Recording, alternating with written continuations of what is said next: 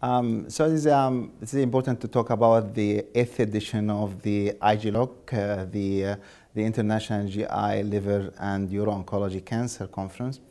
And um, it is, we, we, held, we held this uh, conference about eight years before with almost uh, uh, 200 attendees.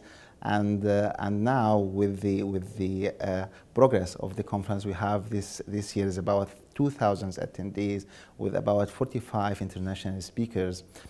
And the, the, the concept behind this, uh, this conference is mainly uh, three main uh, factors or aims. Firstly, education of the young generation for the multidisciplinary activity in GI cancer, in HCC, and in uro-oncology. And the second thing is the going for a platform for cancer research in these very, very important subjects. And the third, that we can go for like awareness strategy because you know that the HCC is the most common cancer in Egypt and the bladder cancer is the second most common cancer in Egypt. And so because of this, it, we, can, we must concentrate in these two subjects. We may go for better outcome for patients in Egypt, either in HCC, in colon cancer, and in bladder cancer.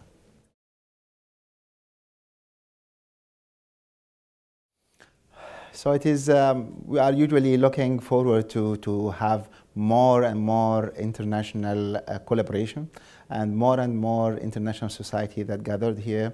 And uh, this year we have three consensus sessions, one on HCC, one on the colorectal, metastatic colorectal cancer, and the, the, the last one on the prostate cancer and you are looking for uh, live transmission from international uh, areas that we in United States in uh, in China and more coloring the the the attendees. So we have people from Africa. This year this year we have about 20 uh, uh, participant from Kenya, and uh, I think next year we, we want to invite more people from, from all Africa, and also from China, from Taiwan, and also from Western and Eastern Europe.